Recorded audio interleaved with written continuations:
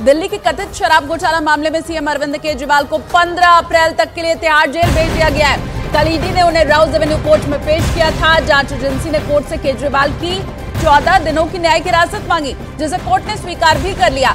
इसी जेल में शराब नीति केस में आरोपी मनीष सिसोदिया, संजय सिंह अलग अलग सेल में बंद है। के कविता भी महिला सेल नंबर छह में रखी गई है। केजरीवाल की गिरफ्तारी के खिलाफ याचिका पर दिल्ली हाईकोर्ट में तीन अप्रैल को सुनवाई होनी है। ये बड़ी खबर इस वक्त की। अब तिहाड़ जेल की बैरक नंबर दो में अरविंद केजरीवाल इस वक्त मौजूद है। तो बड़ी खबर इस वक्त की, जो भी वहाँ का मैनुअल है, उसी के हिसाब से सुविधाएँ अरविंद केजरीवाल को दी जाएँगी। हालाँकि घर का खाना पीना, उन्हें मुहैया कराने के बारे में कहा गया है। उन्हें शुगर की प्रॉब्लम है तो उस लिहाज से भी जो मेडिकल उन्हें सुविधाएँ मुहैया कराई जानी है, उन सभी का ख्याल रखा गया है। तो शराब घोटाला मामले में तिहाड़ में अरविंद केजरीवाल के अलावा अभी कौन कौन से आम आदमी पार्टी के नेता मौजूद है, वो भी हम आपको दिखा रहे हैं। मनीष सिसोदिया जेल नंबर एक में, संजय सिंह जेल नंबर पाँच में, सत्येंद्र जैन जेल नंबर सात में, और अब अरविंद केजरीवाल भी जेल नंबर दो में पहुँच चुके हैं।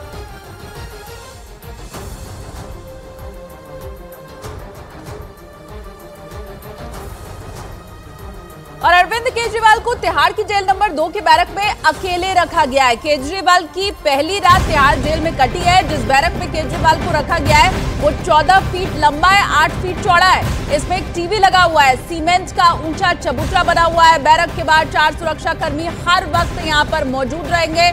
तो बड़ी खबर आपको बता रहे हैं, जेल नंबर दो में केजरीवाल को शिफ्ट किया गया है।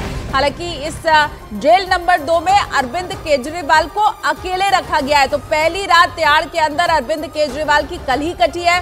14 फीट लंबा 8 फीट चौड़ा उनका बैरक है। एक टीवी की सुविधा इसमें मुहैया कराई गई है। सीमेंट का ऊँचा चबूतरा बना हुआ है और चार सुरक्षा कर्मी इसी बैरक के बाहर हर वक्त मौजूद रहेंगे।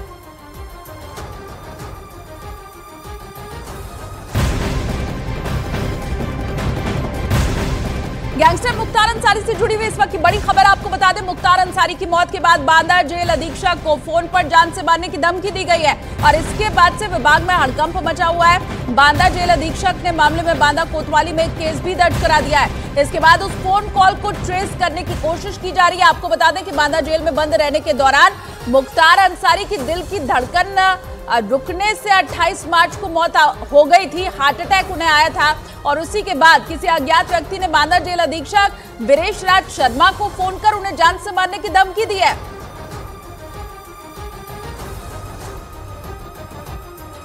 में बंद रहे पूर्वांचल के माफिया डॉन मुख्तार अंसारी की हार्ट अटैक से मौत के बाद बांदा जेल के जेल अधीक्षक को जान से मारने की धमकी मिली है। बीते 28 मार्च को जेल में बंद माफिया डॉन मुख्तार अंसारी की हालत बिगड़ गई थी, जिसके बाद उसे इलाज के लिए बांदा मेडिकल कॉलेज में भर्ती कराया गया था, जहाँ उसकी मौत हो गई थी। जिसके बाद उसी रात बांदा जेल के जेल अधीक्षक वीरेश राज शर्मा के पास लैंडलाइन नंबर से एक अज्ञात कॉलर का फ़ोन आता है, जिसमें उसे ठोक देने की धमकी देता है। चौदह सेकंड के इस काल में जेल अधीक्षक को ठोक देने और उसके साथ अभवता पूर्वक बात की है, जिसके बाद जेल प्रशासन में हड़कम मच गया है। पीड़ित जेल अधीक्षक ने अपने उच्च अधिकारियों को इसकी सूचना दी, जिसके बाद बांदा कोतवाली में अज्ञात थाना के खिलाफ मुकदमा दर्ज कर दिया है, जिसके बाद पुलिस की कई टीम उच्च कॉलर आईडी का सर्च करने पर जुटी हुई है, लेकिन दो दिन से ज़्यादा का समय बीत गया है। अभी तक उस नंबर को पुलिस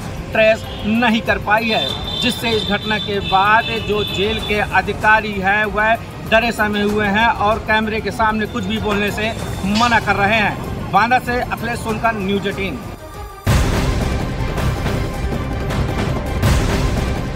और अगली बड़ी खबर राजस्थान से आपको बताएँ, जहाँ पर अंगों के प्रत्यारोपण से जुड़ी इस वक्त की बहुत बड़ी खबर है। राजस्थान की भ्रष्टाचार निरोधक ब्यूरो ने फर्जी अंग प्रत्यारोपण का पर्दाफाश किया है। एसीबी ने इस मामले में जयपुर के सबसे बड़े अस्पताल एसएमएस के दो कर्मचारियों को गिरफ़्तार भी किया है। उनके पास से तीन फर्जी एनओसी बरामद की गई है। इसमें अधिकारियों के फर्जी दस्तखत मिले हैं। अब आरोप यह है कि पकड़े गए आरोपी अंग प्रत्यारोपण के लिए लगने वाले एनओसी को फर्जी तरीके से बनाते थे। जाँच के दौरान आरोपी कर्मचारियों से संबंधित विभाग से विदेशों से जुड़े हुए कई लोगों की फ़ाइल भी मिली है। इसी से माना जा रहा है कि फर्जी अंग प्रत्यारोपण के तार विदेशों तक जुड़े हो सकते हैं।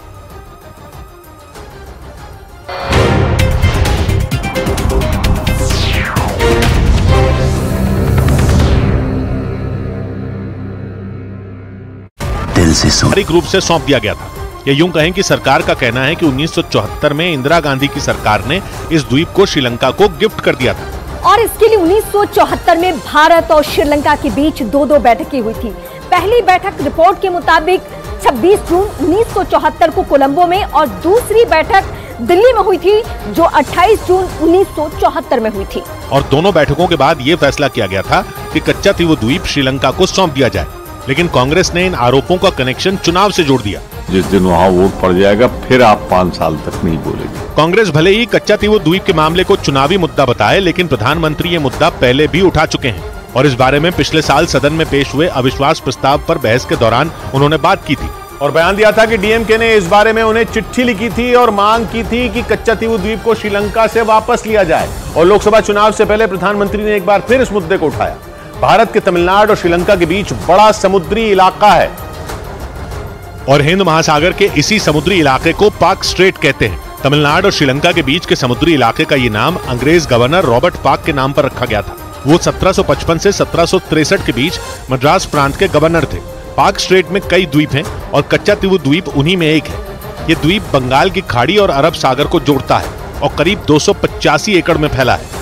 इस द्वीप की भारत के रामेश्वरम से दूरी करीब 19 किलोमीटर है और श्रीलंका के जाफना से दूरी करीब 16 किलोमीटर। है और भारत और श्रीलंका के बीच का ये द्वीप शुरू से विवादों में रहा। कहते हैं कि चौदहवीं शताब्दी में ये द्वीप एक ज्वालामुखी विस्फोट के बाद बना था। और सत्रहवीं सदी में तमिलनाडु के राजा रामनाथ की जमींदारी का हिस्सा था। लेकिन भारत में अंग्रेज़ों की हुकूमत आने के बाद ये मद्रास प्रेसिडेंसी यानी भारत का हिस्सा बन गया था। और उन्नीस में जब भारत आज़ाद हुआ था तो सरकारी दस्तावेजों में इसे भारत का हिस्सा बताया गया था लेकिन उस वक्त भी श्रीलंका इस पर अपना अधिकार जताता था। और कच्चा तीवु को श्रीलंका का हिस्सा बताया था। तब के अखबारों में लिखा गया था कि भारत ने इसका विरोध भी किया था। यही नहीं आरटीआई से मिली जानकारी के मुताबिक भारत के पहले प्रधानमंत्री जवाहरलाल नेहरू के सामने भी इस द्वीप का मुद्दा उठा था। लेकिन कहते हैं उन्होंने इस मामले को खास तवज्जो नहीं दी थी। और इसके कुछ साल बाद 1974 में इंदिरा गांधी ने यह द्वीप श्रीलंका को दे दिया था। आरटीआई से मिली जानकारी के मुताबिक तमिलनाडु के तब के मुख्यमंत्री एम करुणानिधि को जब ये जानकारी दी गई थी तो उनसे बताया गया था कि कच्चा तिवु पर श्रीलंका की मज़बूत स्थिति थी। और उसने अपने रिकॉर्ड का हवाला दिया था और दावा किया था कि कच्चा द्वीप श्रीलंका के जापना साम्राज्य का हिस्सा था। यानी आरटीआई के मुताबिक 1974 में भारत की सरकार ने श्रीलंका की सभी दलीलों को आँख मूंद कर मान लिया था और भारत के एक द्वीप को श्रीलंका को दे दिया था। यही नहीं 2014 में इस मुद्दे पर सुप्रीम कोर्ट में बहस भी हुई थी। और बहस में कहा गया था कि अगर